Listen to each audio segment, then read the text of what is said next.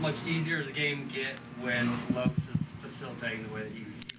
Yeah, no, he's um, from the beginning. I mean, just look at the first play of the game, how he skipped it to Jalon Moore. Um, I, I saw him get one a late one to I think Luke on a on a out of bounds or on a on a roll. He just, you know, he's he's he's got command of the game, and um, you know, so it's it's a luxury. And then you got his counterpart Javian, who I thought got the pace going, made some big baskets in the second half. He's just so fast. He can get to that rim so fast, that he can shoot. So people worry about him on that pull up shot from three.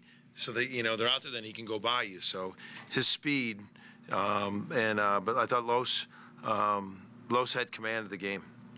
Justin. You mentioned Jalon got back in the mix today. Just what did you see out of him in his?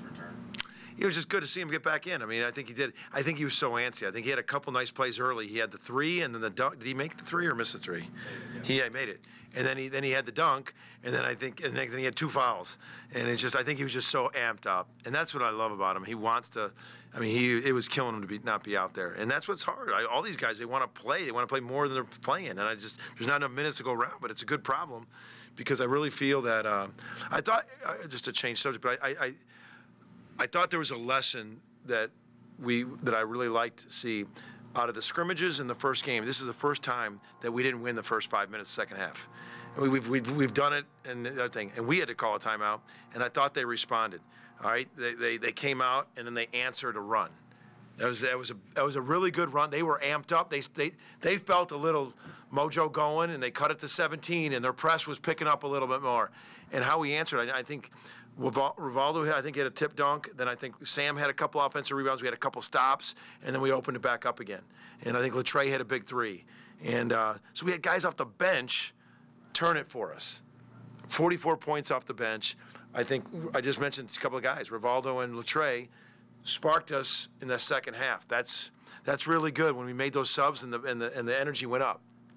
You mentioned that timeout, but just obviously you were in their ear. But for the players, just who were some guys maybe stepped up vocally during that moment to get guys back on track? I don't think I let anybody get vocally. I was I was pretty much I, I mean I was pretty much the, the the one that was not happy in that first time out. Um, but uh, but I, I think they all you know that's a good thing about it. It was no like excuses. They knew. They knew, like, hey, we got to turn it now. So when we were, I saw them walking out, and they were, and they were ready to turn it. James. Your bigs don't miss a shot. I know. And you I know, know. John makes a three, uh, but you got some uh, diversity in there. Yeah, I think you know Sam and John both are, are doing something. I was trying to find you know for Luke too. Luke's natural position's a five. I'm playing him at the four. I'm trying to get him some five. So it's a good problem. I mean, Sam had 10 points and, and six rebounds in 15 minutes. You know, John had 12 points and seven rebounds in 17 minutes. I mean, I couldn't be more happy with that. And uh, so, um, you know, got to devise an offense with both of them in there at the same time.